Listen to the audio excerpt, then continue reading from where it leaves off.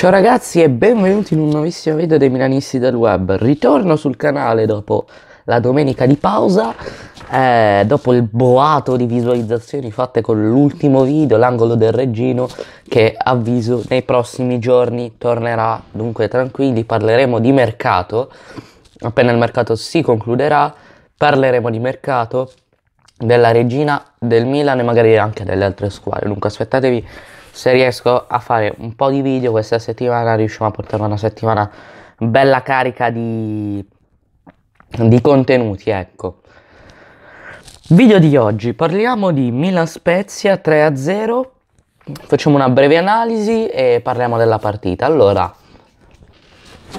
partita premesso che non, non mi aspettavo un grande Milan eh, sia per la squadra scesa in campo sia per ehm, tutta l'atmosfera intorno, diciamo anche l'ambiente non era in, in, con tutto il casino Juve-Napoli, un ambiente un po' così.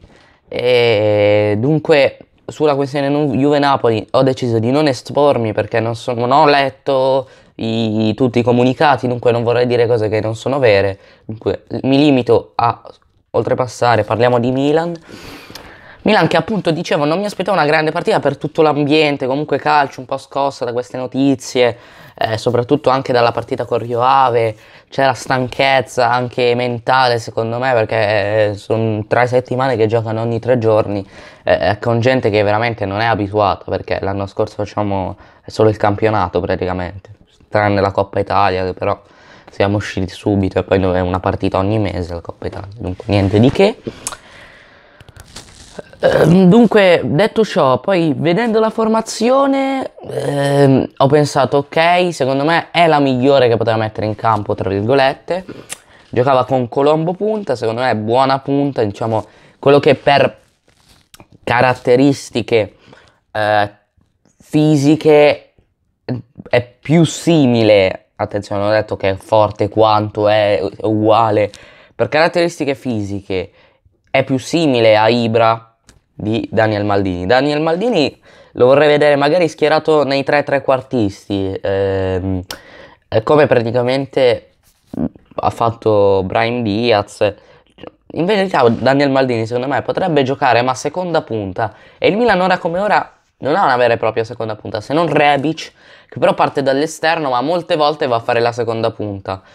Ehm, dunque non lo so perché comunque il centrocampo a, a due funziona bene e metterlo a 3 per mettere Cialanoglu, dunque era un po' un casino secondo me, è giusto mettere Colombo, Leao largo a sinistra, non una grande partita di Leao, poi ha fatto il gol, dunque comunque la sufficienza se la porta a casa, anzi ne ha fatti due, e dal gol ha giocato un po' più tranquillo, ehm, tentava troppo secondo me, magari è il suo modo di giocare così, Fa, mm, lo, lo, voglio più meno tecnico e più fisico Leao. Deve sfruttare più le sue caratteristiche fisiche secondo me quando è ovviamente deve anche fare un bel mix.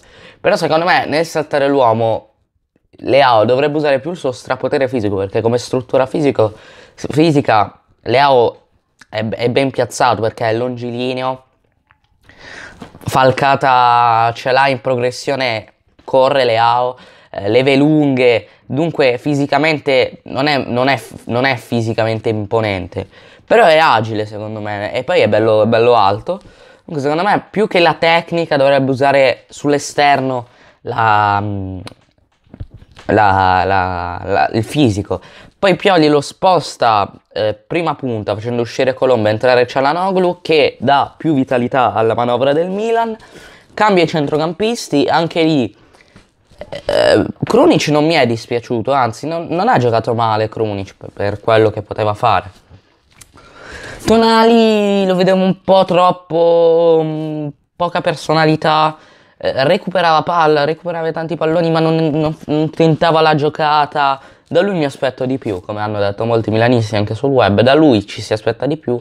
Comunque per me non è, è, non è sufficiente, ma non è neanche una bocciatura, ovviamente è arrivato da un mese neanche, ha giocato due partite, diamogli tempo, comunque passare da Brescia a Milan non è mai facile. Ehm, dunque così. La difesa, Kier ormai stranamente sta giocando bene con continuità. Con continuità.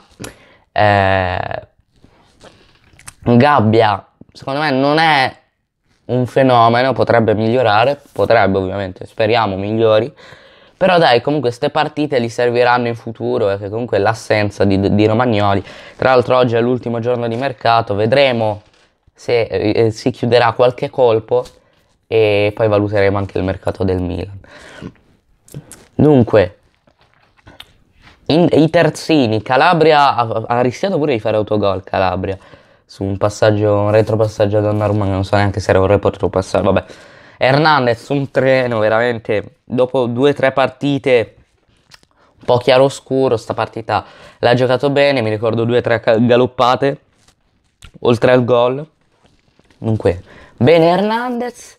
Ora abbiamo la sosta, pensiamo all'Inter, allora riposiamoci un po', avremo Ibra al top della condizione visto che non gioca da, da un po' e fra poco credo finisca la quarantena, vedremo se sarà negativo e poi andremo a giocare contro l'Inter, salvo imprevisti, Covid.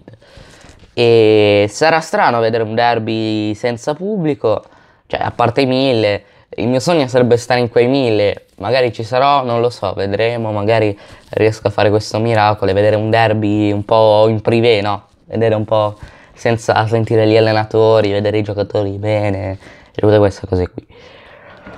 Iscrivetevi al canale, lasciate like, condividete, seguiteci su Instagram, seguitemi su Instagram e sempre Forza Milan. Oh, questa è la maglia di, del nostro capitano che ha giocato benissimo, mi sono dimenticato di dirlo.